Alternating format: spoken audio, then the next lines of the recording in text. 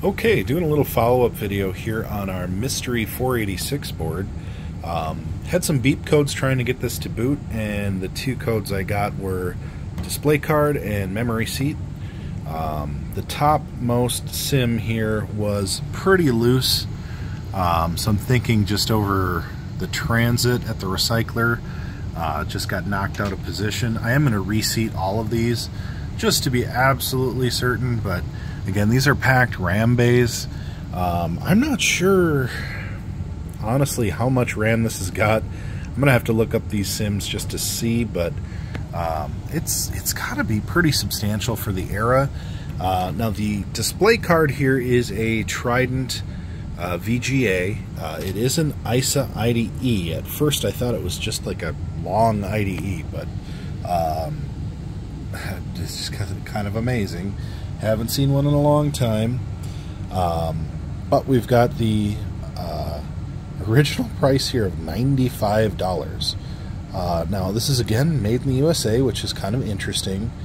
Uh, and I am not 100% sure how much uh, capability this has, but I want to say this is probably um, uh, a megabyte, I'm guessing based on uh, the build, but I'm not 100% sure. We'll find out, hopefully, if we can get this to boot.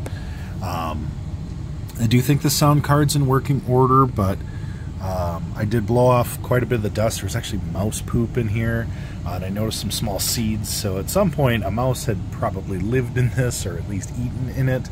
Um, but we're going to go ahead and get this reseated to hopefully resolve our beep codes, and uh, I'd really like to see this thing boot.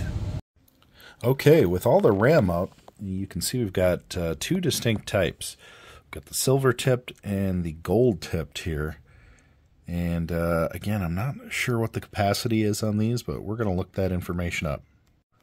All right, so I looked up these SIMs, uh, and these particular chips are 131 kilobyte um, SIMs. I'm assuming that these are similar, but we're going to look these ones up. Uh, interestingly enough, these are tipped with tin and lead uh, as their connectors. And of course, we've got gold connectors over here. So I'm assuming one is probably faster than the other. Um, but oddly enough, I'm wondering if that might be part of the memory issue here, just because uh, we've got some mismatch RAM, but not sure. Okay, so after a little more research, actually on both chips, uh, the individual chips on these boards are 131 kilobytes, so this the full stick is a full megabyte, give or take. Uh, and these these are actually the same measure. Uh, they're megabyte uh, sticks. So this is an eight megabyte RAM setup, which is pretty substantial for the era. Um, so I'm kind of excited to see this thing should, relatively speaking, work pretty well. Uh, assuming that once I reseat these, this will boot. Uh, again, that also still leaves us with the video card adapter, uh, which was presenting an issue as well. Uh, I notice this is pretty dirty.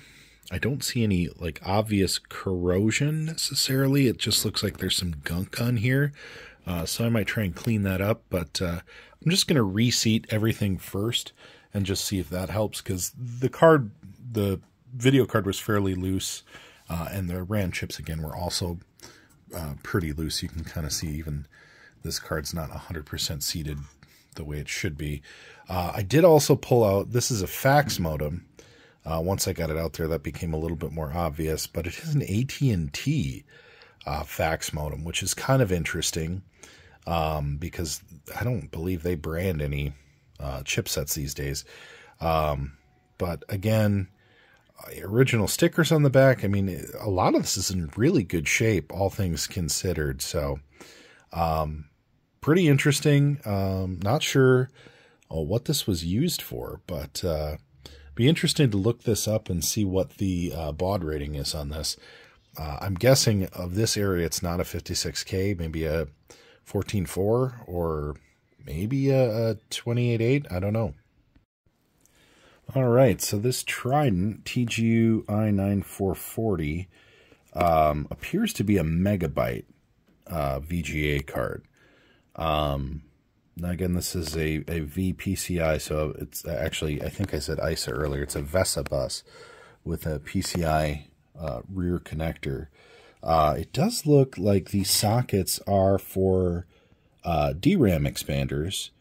Um, so this looks like it could be an, a card that I could eventually upgrade if I wanted to. Uh, I don't know. I don't know if it works, let alone if that would ever be advantageous. As this is probably a a DOS system. Um, maybe I could run Windows 95 on this system. I don't. I don't know. It's uh, it's pretty pretty unlikely, but uh, we'll just see if we can even get it to boot, and I think we just kind of go from there. All right, so something of note here. This card is like tremendously difficult to get into place. Um, very difficult to get it to mount in the the front socket and then to coordinate it in the PCI slot in the back at the same time was a monster pain in the ass. So if if you want to talk about how far technology has come, graphics cards alone, just being PCI, PCI Express, AGP, you know, ISA, whatever, are leaps and bounds ahead of this setup with two separate sockets. Not just two separate sockets, but two different pin configurations in said sockets.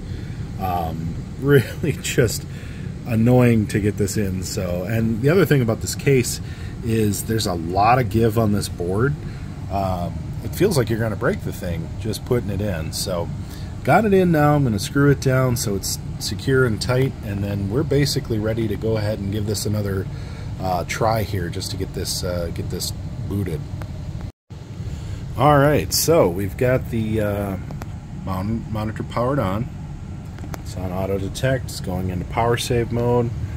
Uh, we don't have turbo engaged on this, so I'm just going to let that ride for now. And let's just see what happens.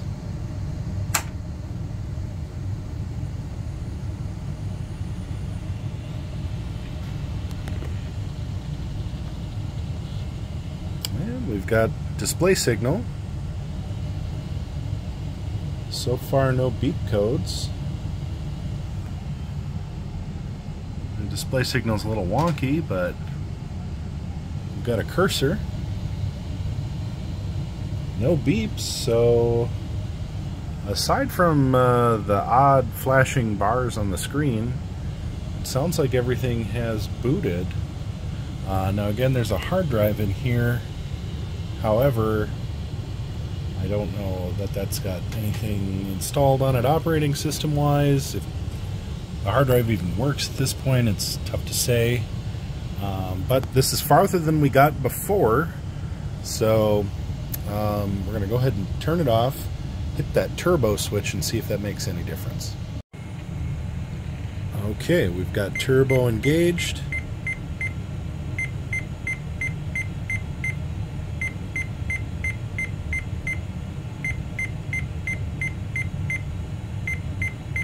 Seven beeps.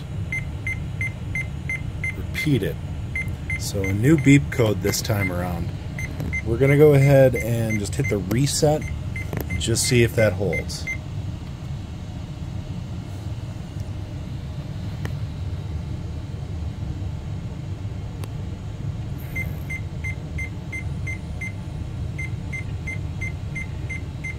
All right, we got seven short beeps, so I guess we got to troubleshoot that new beep code.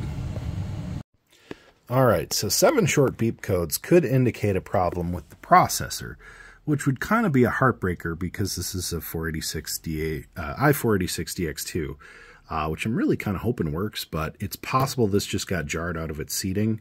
Um, and it could also be that there's supposed to be a second processor in here, and there is not. Um, so I do actually have other processors from the 486 era, but I think what we're going to try first is just to unseat and reseat this processor and then fire it back up and see if it'll work. All right, pulled the processor and reseated it here, so hopefully everything goes well. I was going to throw a second one in, or at least have one to try in case it doesn't work, but you can see the pins on this need some TLC after the recycler. Uh, also, that one's at 33 megahertz, and this is a uh, much faster uh, processor, so hopefully I don't have to use that, but Uh, unfortunately, the other 486s I have won't fit this socket, so I'm to go ahead and give her a shot.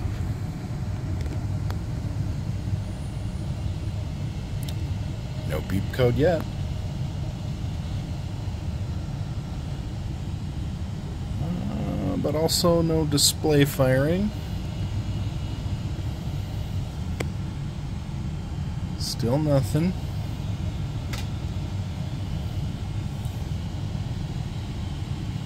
Just power cycle the monitor here, but no beep code, so so far so good.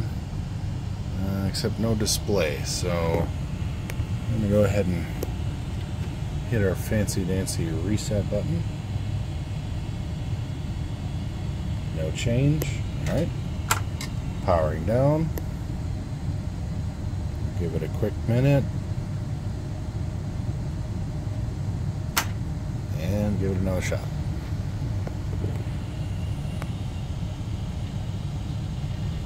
Got hard drive sounding, no beep code.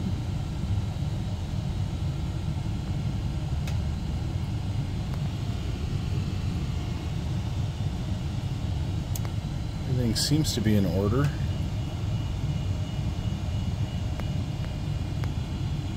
But again, we've got no picture on the monitor. None at all this time. Okay, trying this again. Uh, I think what the issue was in the last boot attempt was processor was not completely seated. So that uh, user error there hopefully has been corrected. And let's see if we get any post or any display. uh, I just noticed, of course, in uh, all the changes I've been doing. Got to plug the power in, of course. So that's uh, user error yet again. But uh, let's go ahead and flick around see what we get.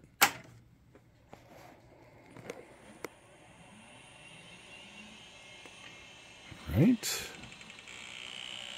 There we go. Keyboard error. Because, of course, we uh, don't have a keyboard plugged in. But we have BIOS, um, and that is uh, that's really cool. That uh, is super rewarding. So we know the system works. We know it'll boot. Uh, now at this point, I just have to find a DIN connector keyboard and go from there. But uh, we've officially revived our mysterious 486 system. The next step is to get a keyboard and, of course, get uh, get this booted all the way so we can see if there's anything on these hard drives, if this has got a disk operating system of some kind, a command line interface or a GUI. Um, it's got a CD drive, so I, part of me thinks that this must have uh, at least Windows 3.1 on it, maybe Windows 95 if we're lucky, um, or maybe just an MS-DOS command line interface. But uh, I have a feeling we're going to be pleasantly surprised Interestingly enough, I was digging through some of my um, rescues from the uh, card pile at the recycler, and I did find this old VESA LAN card, which will actually fit in the system. So there is a realistic chance, and I'm not going to get too terribly uh, too terribly crazy about it, but there is a realistic chance that if this has a Windows 95 system, which was internet capable, we might be able to take this little 486 for a spin on the internet. Um, so we'll see what happens there. Uh, thank you for your attention in this video. I do appreciate it. If you've made it this far, hit that like button, that subscribe button for more content. We're definitely going to be playing with this 486 system more in the future, probably in the very near future once I get a keyboard. Uh, in the meantime, I've got some more Will It boots coming up. And just as a uh, aside here, I am still doing my TRS-80 stuff, and I have a big box of fun that's going to be coming up soon, so stay tuned for that.